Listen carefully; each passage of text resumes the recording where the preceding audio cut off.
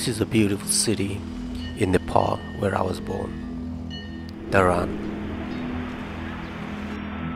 When I was a kid, I used to fly kites from my neighbor house, but now I'm flying my drone from the same place.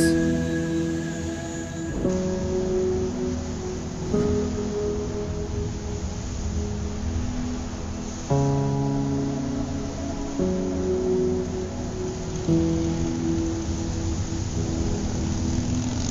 Thank you.